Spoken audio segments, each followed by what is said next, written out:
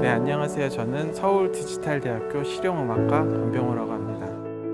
대한민국 음악 프로에 있어서 가장 중심적인 역할을 맡고 있는 멀티악기 연주를 하고 있습니다.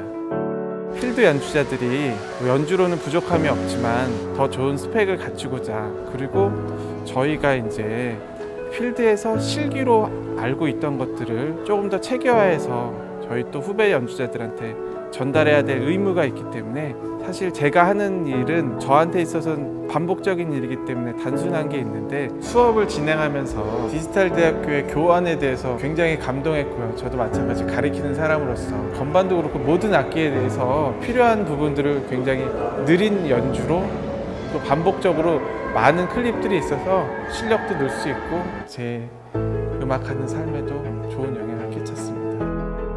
음악이 사실 혼자 할 수 있는 것이 아니라 굉장히 많은 사람들과 함께 협업해야 되는 것들이기 때문에 성실함이 가장 큰 미덕이라고 봐요. 당연히 실력은 있어야 되는데 성실하지 못한 사람은 필드에 남아 있을 수가 없어요. 어떤 공연을 하든지 내가 해야 될 일들, 준비해야 될 것들을 누가 말하기 전에, 누가 지시하기 전에 내가 알아서 연주한다면은 사람들이 좋아하고 인정받고 좋은 연주자가 될 수 있으리라 봅니다.